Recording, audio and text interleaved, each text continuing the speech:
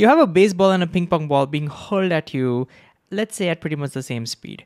Now, if you try to catch it, you probably know that catching a baseball is going to hurt your hand more compared to the ping pong ball, right? But why?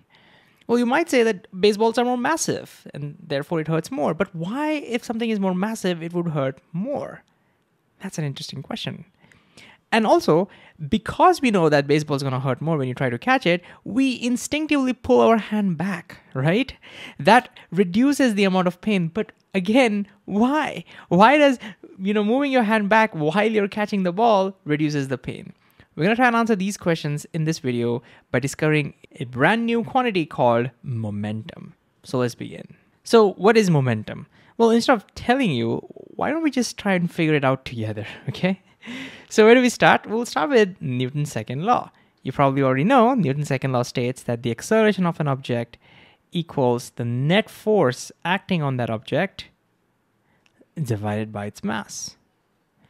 Now let's rearrange this by multiplying by m on both sides. So we will get net force equals mass times the acceleration. All right, what do we do next?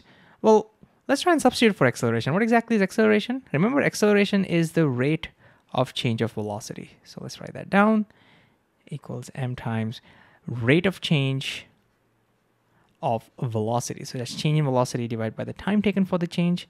And now I can just put this m in over here and write this as change in mv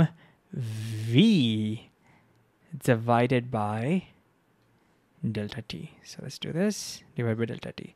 Now at this point, you may be like, whoa, whoa, whoa, what just happened? Why did you put that m inside? How are we allowed to do that? And I said, that's a great question. Always ask questions whenever a step doesn't make sense to us. So let's look at it. What really does, what does this really mean? So if we were to expand that, it basically means mass times change in velocity is basically final velocity minus initial velocity divided by the time taken for that change, right? Now, I can just multiply this inside, isn't it? So I can do this right? So this becomes mass times final velocity minus mass times initial velocity divided by the change, uh, change in time or the time taken for that change, right? And that's exactly what this is. So notice this now represents change in mv, right? So that's what we did over here. Anyways, in doing so, look at what we have achieved. We have now found that the net force acting on a body equals change in this new quantity divided by the time taken for that change. Since we are discovering a new quantity over here, we thought let's just give it a name. And we call this quantity the momentum. And uh, the letter we use for that is P, probably because M is taken for mass, right? So let's write that down. So net force acting on an object will now become change in momentum divided by the time taken for the change. And to try and make sense of what this equation is telling us, let's first investigate what momentum is. So what we found so far is that momentum, moment, oops, oops, moment, momentum, momentum, P, well, what exactly is it? Well, it's this thing, so it's mass times velocity. Okay, so what can we immediately see from here? Well, the first thing we can immediately see is that momentum must be, whatever it is, it's a vector quantity because velocity is a vector quantity. So momentum should have both direction and magnitude. Another thing we can immediately write down is its units. So can you can you pause the video and see if you can write down its units yourself?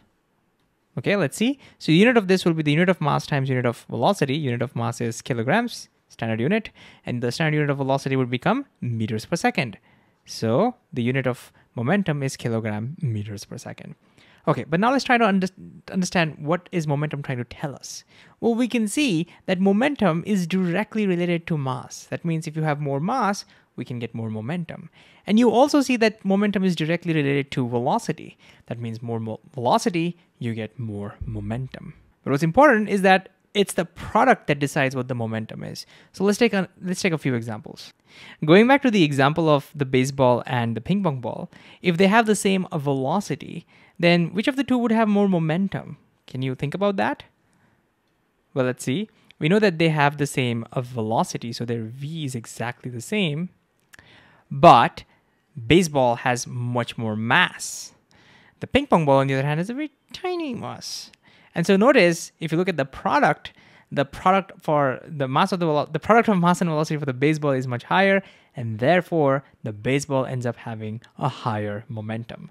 Maybe that's got something to do with why it hurts when you try to catch a baseball. But anyways, we'll get back to that. But just because something has more mass doesn't doesn't mean it has more momentum. Well, in, in this particular case, we knew that they had the same velocity. That's why we could infer that if it has more mass, it should have more momentum, right?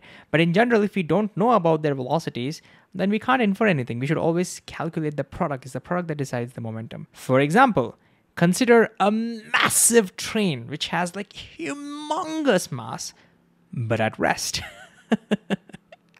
if its velocity is zero, what is its momentum? Well, it's going to be zero. It doesn't matter how massive it is. If it's not moving, it doesn't have any momentum. So a massive train at rest has no momentum. This ping pong ball has more momentum than this train because it's moving.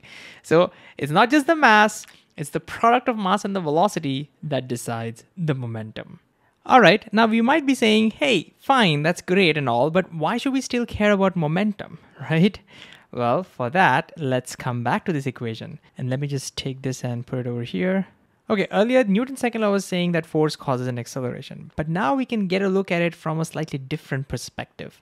What is this equation trying to tell us? Well, it's saying that the net force acting on an object equals change in momentum divided by the time taken for the change. In other words, it equals rate of change of momentum. And I love this because this is very similar to how we have seen quantities before.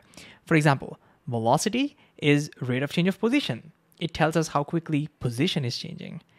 Acceleration is rate of change of velocity. It tells us how quickly velocity is changing. Now we can see net force is rate of change of momentum which means it tells us how quickly momentum is changing. In other words, if you have a lot of momentum changing per second, that means there must be a huge force acting on you, net force. The net force acting on you must be a lot. On the other hand, if there's a very small momentum change happening per second, then the net force acting on you must also be very small. A beautiful new perspective of Newton's second law. But another benefit of this formulation is look, the time, the time over which this force is acting, the time over which that momentum is changing, that's visible to us in this perspective. Well, earlier that was hidden in the acceleration. So it's still there. This is the time over which the force is acting, but it was kind of hidden over here. But now it is it's, it's there. We can see it and we will use it later on. We will see how to use it in the next video. But anyways, let's now apply this to our initial question.